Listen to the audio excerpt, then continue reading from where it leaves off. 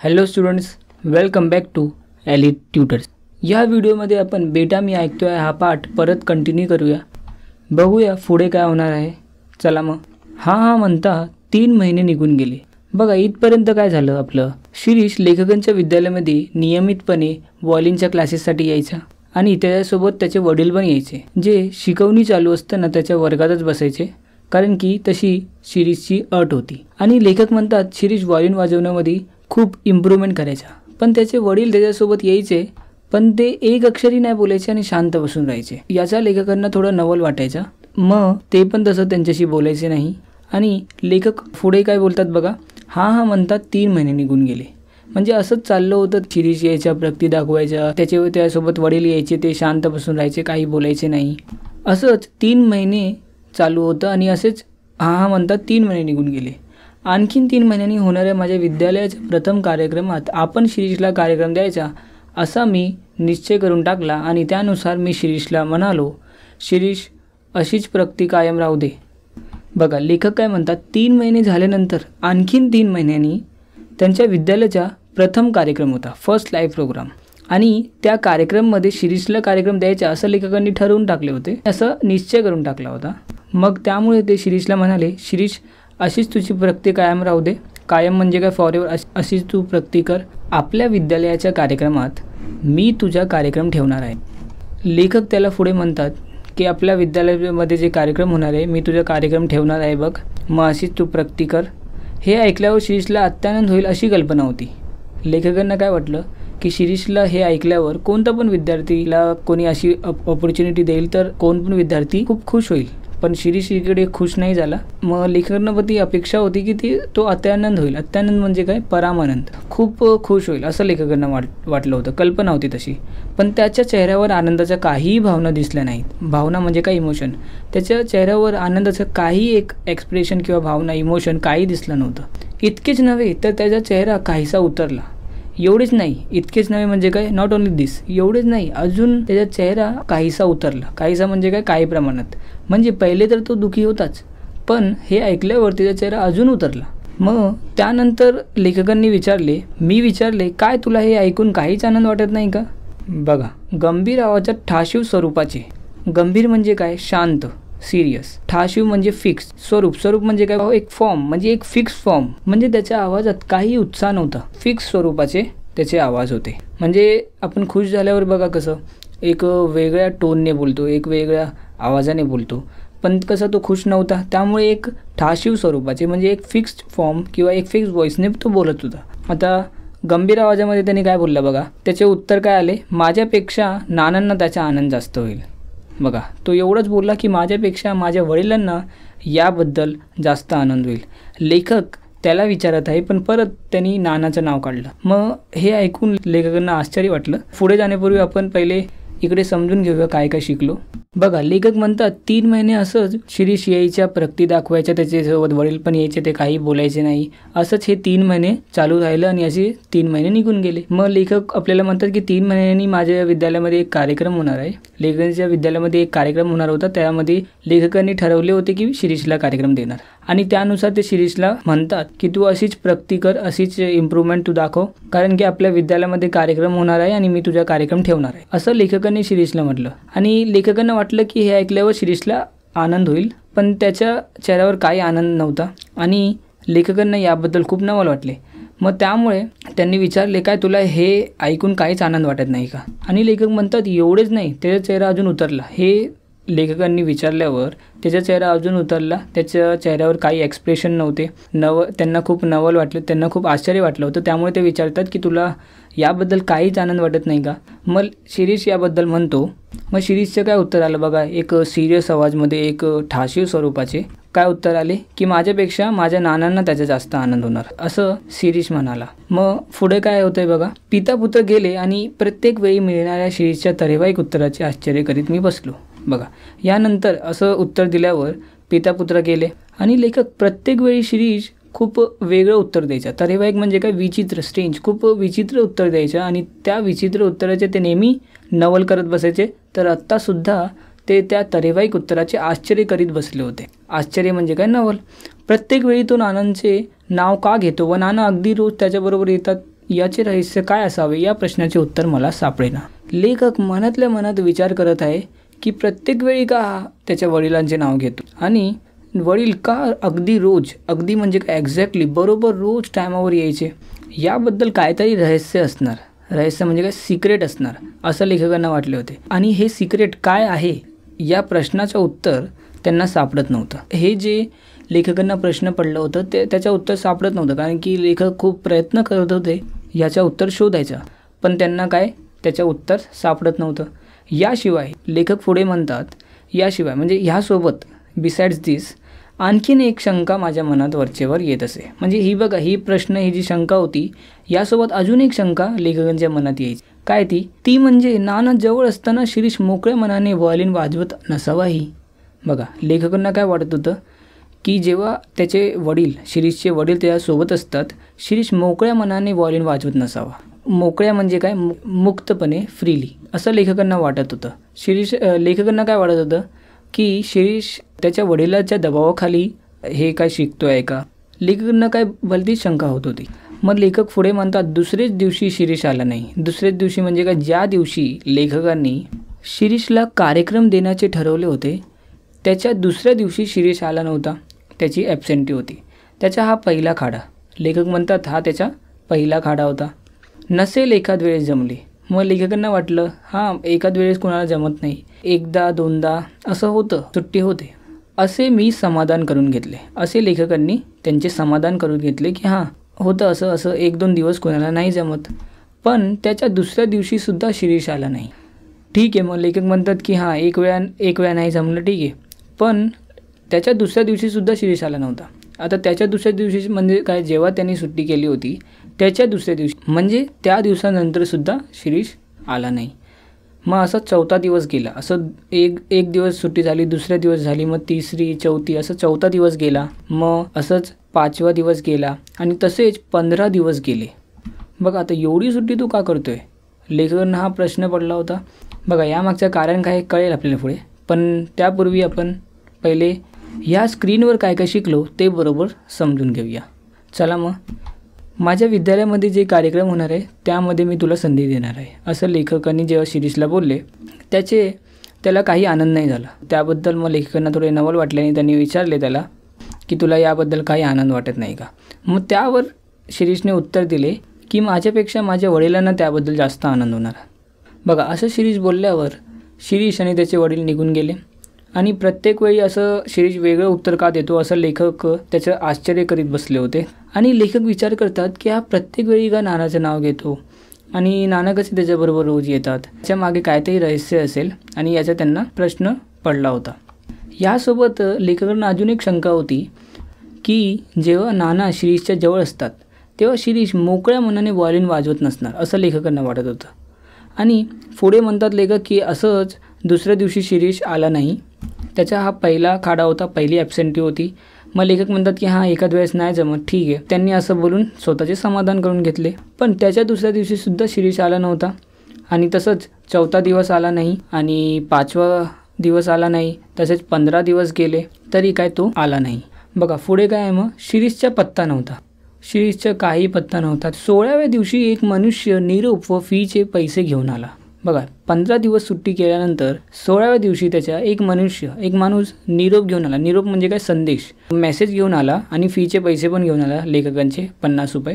नाना आजारी असल्यामुळे शिरीष येऊ शकणार नाही. बघा त्याने काय सांगितलं की नाना म्हणजे शिरीषचे वडील खूप आजारी आहे त्यामुळे शिरीष येऊ शकणार नाही. एवढे त्याचे निरोप होते. असा तो माणूस म्हणाला थोड्याशा त्राग्यानं मी म्हणालो नानांशी त्याला काय करायचे आहे? इकडे कार्यक्रम जवळ येत चालला आहे त्याचे काय? बघा लेखकांना याबद्दल राग आला. त्राग्याने म्हणजे काय? वैतागून. अॅनोईंगली थोडं वैतागून ते म्हणाले नानांशी त्याला काय करायचं आहे लेखकांना काय वाटत होतं? की शिरीषने रोज शिकवणी तर यायला पाहिजे. बरोबर व्हायलिन वाजवण्यामध्ये लक्ष द्यायला पाहिजे. आणि ते पुढे म्हणतात एवढं कार्यक्रम इकडे जवळ येणार आहे. त्याचं काय करणार? तो असे खाडे करत राहिला तर मी तर कार्यक्रम त्याला देऊ शकणार नाही. आणि तो खूप चांगलं वाजवतो लेखकांना हे माहीत होते. त्यामुळे वैतागले होते. मग लेखक पुढे म्हणतात शिरीष आला नाही. त्याची वाट पाहून मी कार्य मी त्याचा कार्यक्रम रद्द केला. त्याचे नाव पण काढायचे नाही असे ठरवून मी बाकीचे विद्यार्थी तयार केले. बघा लेखक म्हणतात की शिरीष काय आला नाही आणि लेखकांनी त्याची खूप वाट पाहिली. मग त्यानंतर ते वाट पाहून त्यांनी काय केलं? कार्यक्रम त्याचा रद्द करून टाकला. कॅन्सल. रद्द म्हणजे काय? कॅन्सल. रहित केले. आणि त्याचे नाव पण काढायचे नाही असं लेखकांनी ठरवले होते. कारण की त्यांना खूप राग आला होता शिरीषचा. त्याचं नाव काढायचे नाही असं लेखकांनी ठरवून बाकीचे विद्यार्थी तयार केले. बाकीचे विद्यार्थ्यांना त्यांनी चांगले शिक्षण दिले. सूर्याटकी की त्यांचा कार्यक्रम खूप चांगला हो. बघा पुढे काय आहे? समारंभाचा दिवस उगवला आणि सकाळपासून श्रीच्या आठवणीने मी उगाचच बेचैन झालो होतो. समारंभाचा म्हणजे काय? फंक्शन म्हणजे एक इव्हेंट म्हणजे लेखकांचं जे कार्यक्रम होतं तो दिवस उगवला आता. आणि सकाळपासून शिरीषच्या आठवणीने मी उगाचच बेचैन झालो होतो. शिरीषच्या आठवणीने लेखक उगाचच म्हणजे काय? विनाकारण बेचैन. विनाकारण तर बरोबर आहे. कारण की लेखकांनी म्हटले होते की मी त्याचं नाव पण काढणार नाही. पण तरी लेखक त्याच्या आठवणीने बेचैन झाले होते. बेचैन म्हणजे काय? अस्वस्थ अनकम्फर्टेबल झाले होते. याचं म्हणजे काय? की लेखकांना शिरीष खूप आवडत होता. कारण की तो खूप हुशार होता. व्हायलिन वाजवण्यामध्ये खूप हुशार होता. आणि त्याचं बोलण्यात त्यात एक कॉन्फिडन्स लेखकांना दिसायचा. त्यामुळे बघा ना एवढे दिवस झाले तरी लेखक अजून त्याच्या आठवणीने बे बेचैने म्हणजे काय?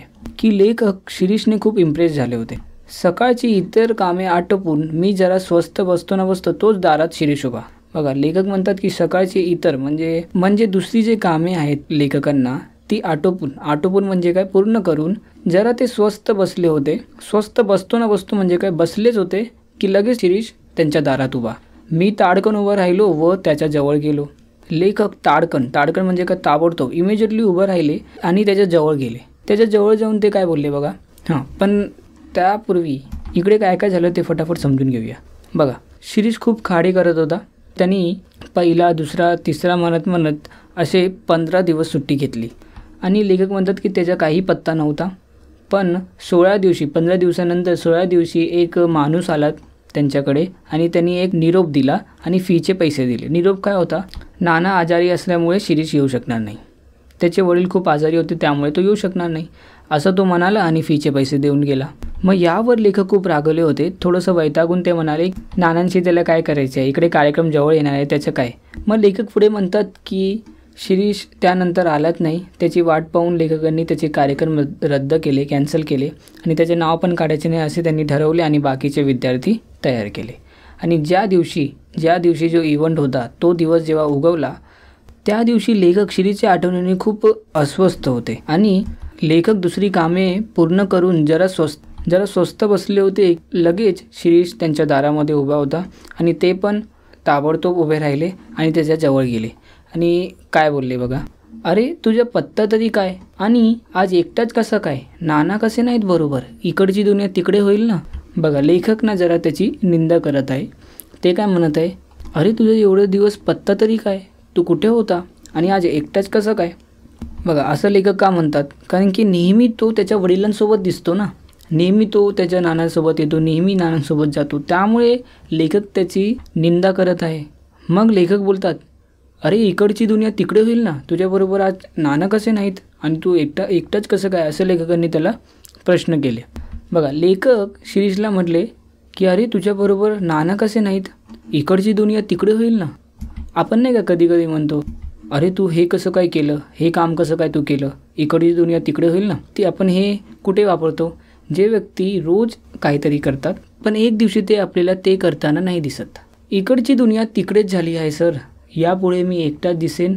माझे नाना नाना माझे नाना कायमचे गेले हो सर. बघा याचं म्हणजे काय की त्याचे जे वडील आहे ते आता या जगात नाही आहे. त्यामुळे तो एवढा दिवस येत नव्हता. बघा कारण कळलं?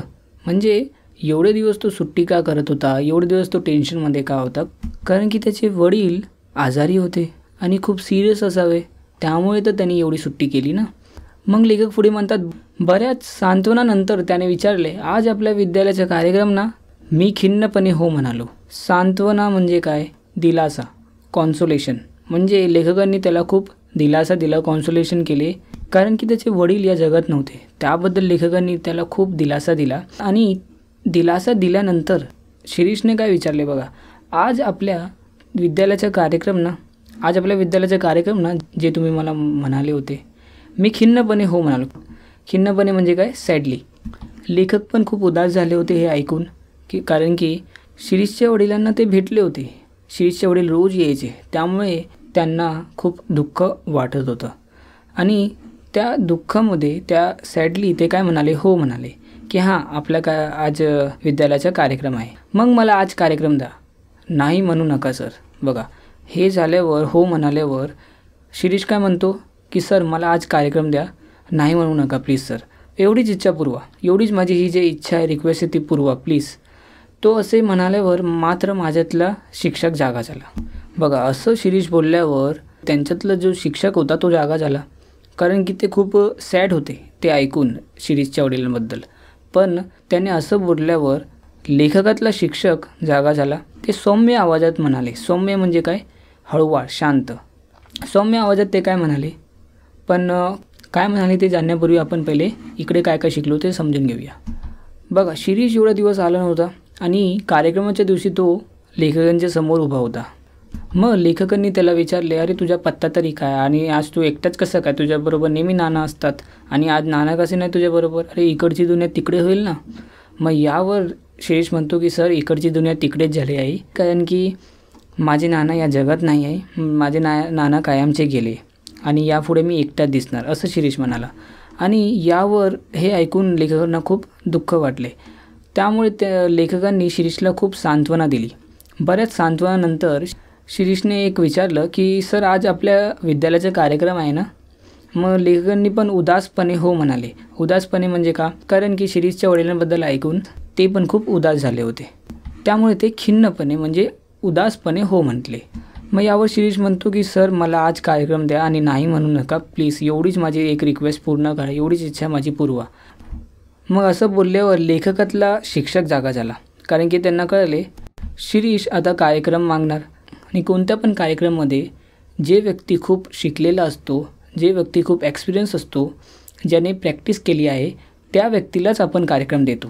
त्यामुळे हे ऐकून लेखकांना खूप भीती वाटली. कारण की आता याला कार्यक्रम तर नाही द्यायला लागणार असं लेखकांना वाटत होतं.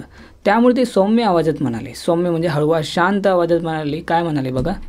शिरीष मी तुझ्या भावना ओळखतो पण आज माझा नाईलाज आहे. शिरीष मी तुझ्या भावना तुझ्या इमोशन ओळखतो पण आज माझा नाईलाज आहे. नाईलाज म्हणजे काय? हेल्पलेस हेल्पलेसनेस म्हणजे मी आज तुझी काही मदत नाही करू शकत असं ते म्हटले. आजच्या या पहिल्या कार्यक्रमावरच आपल्या विद्यालयाची इब्रत अवलंबून आहे. बघा इब्रत म्हणजे काय? पत लौकिक प्रेस्टीज अवलंबून म्हणजे काय? डिपेंड ते म्हणतात की या कार्यक्रमावरच आपल्या विद्यालयाची इब्रत म्हणजे एक प्रेस्टीज लौकिक या विद्यालयाची डिपेंड आहे. म्हणजे हा लेखकांच्या विद्यालयाचा पहिला कार्यक्रम होता. तर तो कार्यक्रम खूप चांगला व्हावा अशी लेखकांची इच्छा होती आणि त्यावरच त्यांच्या विद्यालयाची आणि त्यांची इब्रत अवलंबून होती. म्हणजे डिपेंड होती.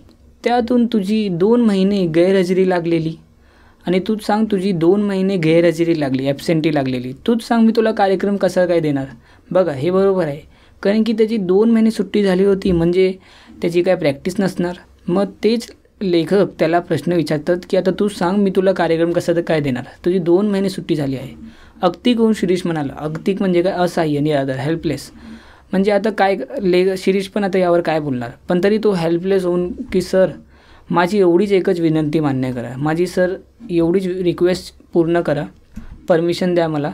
मला आज वाजवू दे. नंतर जन्मात हात लावणार नाही वरीलला शिरीष म्हणतो की सर मला आज वाजवू द्या प्लीज आणि यानंतर मी जन्मात हात लावणार नाही. बस आज मला पण वाजू द्या.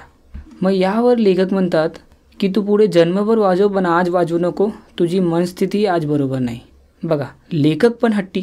ते काय म्हणतात की तू पुढे जन्मभर वाजव शिरीष पण आज वाजवू नको. आणि अजून एक गोष्ट तुझी मनस्थिती आज बरोबर नाही. मनस्थिती म्हणजे काय? स्टेट ऑफ माइंड माइंडसेट किंवा त्याचं जे मन आहे ते खूप स्थिर नव्हतं. त्याचा जो माइंडसेट आहे तो बरोबर नव्हतं. कारण की तो खूप दुःखी होता. त्याचे वडील आता या जगात नाही आहे.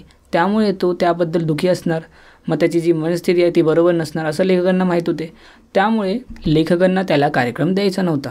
पण तरी शिरीष म्हणतो मला परवानगी दिलीत तर माझी मनस्थिती आपोआपच सुधारेल. परवानगी म्हणजे काय? परमिशन. मला परमिशन द्या सर. मग माझी जी ही मनस्थिती आहे जे मी दुःखी आहे माझी जी मनस्थिती बरोबर ऑटोमॅटिकली सुधारेल.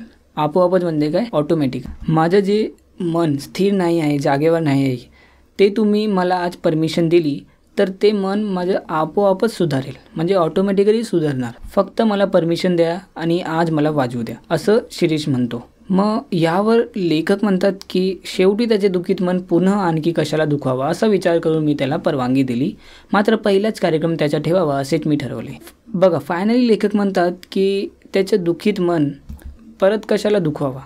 तो पहिल्यापासून दुखी होता तर अजून कशाला दुखावा? असं लेखकांनी विचार केले आणि त्याला परवानगी देऊन टाकली. आणि त्यांनी ठरवले की शिरीषला पहिलाच कार्यक्रम द्यावा. त्यांचा काय विचार होता की शिरीषने बरोबर वाजवलं नाही सुद्धा तर माझे जे इतर विद्यार्थी आहेत ते पुढे सांभाळून घेतील. कारण की इतर विद्यार्थ्यांना लेखकांनी खूप चांगले तयार केले होते. आता इकडेपर्यंत बघत आपल्याला चांगलं समजलं आहे. एक वेळ अजून एक हे फटाफट समराईज करून घेऊया. शिरीष मी तुझ्या भावना ओळखतो.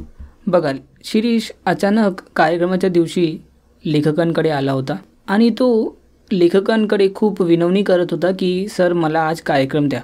आणि यावर लेखक म्हणतात की तुझे जे इमोशन आहे ते मी ओळखतो पण माझा आज नाईलाज आहे. मी काही करू शकत नाही कारण की हा आपल्या विद्यालयाचा पहिला कार्यक्रम आहे. आणि त्यावरच माझी आणि माझ्या विद्यालयाची इब्रत अवलंबून आहे. म्हणजे प्रेस्टीज इज्जत अवलंबून आहे. त्यातून तुझी दोन महिने गैरहजेरी लागलेली. तुझी दोन महिने ॲबसेंटी होती. आणि दोन महिने ॲबसेंटी होती तर आता तूच सांग की तुला कार्यक्रम कसा काय देणार? मग शिरीष हेल्पलेस होऊन परत म्हणाला सर माझी एवढीच एक रिक्वेस्ट पूर्ण करा. मला आज वाजू द्या तुम्ही. त्यानंतर मी जन्मात हात लावणार नाही वायलिनला बस. पण मला आज वाजू द्या. असं तो लेखकांना खूप विनवणी करत होता. पण लेखकांनी परत त्याला अपोज केलं. तू पुढे जन्मभर वाजव पण आज वाजू नको. तुझी मनस्थिती पण आज बरोबर नाही. तू पहिल्यापासून दुखी आहे. तर तू कार्यक्रम कसं काय करणार? मग यावर शिरीषने उत्तर दिले की सर मला परमिशन तर द्या. माझी जी मनस्थिती आहे ती आपोआपच सुधारणार. शेवटी मग लेखकांनी विचार केले की त्याचं जे दुःखित मन आहे ते कशाला परत दुखवावा? त्यामुळे लेखकांनी त्याला परवानगी देऊन टाकली आणि लेखकांनी ठरवले की त्याला पहिलाच कार्यक्रम द्यायचा. म्हणजे त्याने बरोबर वाजवलंसुद्धा नाही. तर त्यांचे जे इतर विद्यार्थी आहे त्यांनी जे तयार केलेले ते बरोबर पुढे सांभाळून घेतील कार्यक्रमाला असं लेखकांनी विचार केले होते. पण तो खूप चांगला वाजवत आहे आपल्याला तर कळलं आहे. या स्टोरीपूर्व आपण वाचले आहे बघा की तो खूप चांगलं वाजवत आहे. आणि याबद्दल लेखकांना खूप आश्चर्य वाटलं. आणि आता यापुढे काय होतं ते आपण पुढच्या व्हिडिओमध्ये बघूया. आतासुद्धा खूप प्रश्नाचे उत्तर आपल्याला सापडले नाही आहे तर आता पुढे आपण बरोबर समजून घेऊया. मग आपल्याला उत्तर पण बरोबर भेटणार. चला मग all the best students bye